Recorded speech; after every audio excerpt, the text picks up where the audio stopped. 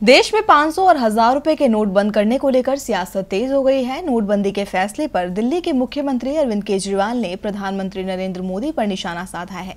केजरीवाल ने कहा कि पीएम ने अपने दोस्तों को पहले से आगाह कर दिया था। इसीलिए बीजेपी नेताओं ने अपने काले धन को पहले ही ठिकाने लगा दिया। केजरीवाल ने आरोप लगाया कि नोटबंदी के नाम पर देश में बड़े घोटाले को अंजाम दिया गया। पिछले तीन महीने में बैंकों में हज़ारों करोड़ रुपए जमा कराए गए। बैंक में जमा कराई गई इतनी बड़ी रकम से शक पैदा होता है। पिछली तिमाही से पहले बैंक जमा नेगेटिव में था। उसमें कोई बढ़ोतरी नहीं देखी गई, लेकिन फिर यह अचानक से बढ़ गया। ऐसे में सवाल उठता है कि ऐसा कैसे हुआ?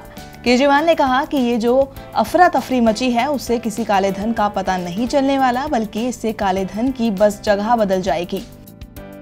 केजरीवाल ने कहा कि मोदी जी की यह काले धन के खिलाफ सर्जिकल स्ट्राइक नहीं है, बल्कि जनता की गाढ़ी कमाई के खिलाफ उनकी बचत पर एक प्रहार है।